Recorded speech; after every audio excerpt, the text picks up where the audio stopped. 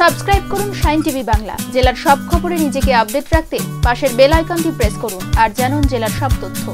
স্থানীয় সূত্রে জানা গিয়েছে, বুধবার গভীর রাত্রে মুর্শিদাবাদের বড়োয়া থানার কুড়ি চৌরাস্তা এলাকায় প্রথমে একটি দোকানে হঠাৎই আগুন লাগে। সেই আগুন দ্রুত ছড়িয়ে পড়ে পাশের মিষ্টির দোকানে। মিষ্টির দোকানে গ্যাস সিলিন্ডার ছিল। অগ্নিকাণ্ডের জেরে সেই গ্যাস সিলিন্ডারটি ফেটে যায় এবং আগুন দ্রুত ছড়িয়ে পড়ে পাশের আরও বেশ কয়েকটি দোকানে। ঘটনার খবর পেয়ে দমকলের দুটি ইঞ্জিন এসে আগুন নিয়ন্ত্রণে আনে। যদিও এই অগ্নিকাণ্ডের জেরে পরপর প্রায় বারোটি দোকান সম্পূর্ণ ভস্মীভূত হয়ে যায়।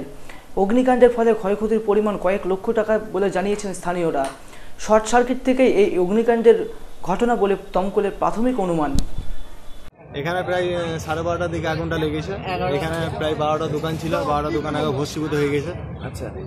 আর এখানে বাজারে দু তিনটি লোক ছিল ওরা আমাদের খবর দেয় আমরা এসে দেখি। দমকল বাহিনী এসে কটা দমকল। বাহিনী কটা এসেছিল এখানে?